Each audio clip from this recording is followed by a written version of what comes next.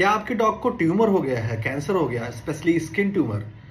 तो उसमें जो है, अब एक हर्बल मेडिसिन आ गई है, जो कि काफ़ी इफ़ेक्टिव है। अगर आप इनिशियल स्टेज में अगर हम पहचान जाते हैं कि डॉग को स्किन ट्यूमर है, और उसमें अगर वो मेडिसिन हम स्टार्ट कर देते हैं तो मैंने अपने प्रैक्टिस में 40 टू 60 परसेंट तक रिकवरी रेट देखा है, और इनफैक्ट जो ट्यूमर मास है, वो काफ़ी रिग्रेस हो जाता है। उस मेडिसिन का नाम है Oncopet so this is the Oncopet it's completely herbal medicine और ये इजिली अवेलेबल नहीं होती है। इसको केवल डॉक्टर के पास ही मिलती है।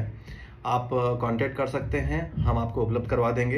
And this is wonderful medicine specially for skin tumour and apart from that अगर उसको जो है सिस्टमिक ट्यूमर है, तब भी हम इनिशियल स्टेज में अगर डायग्नोज कर लेते हैं तो काफ़ी अच्छा काम करती है।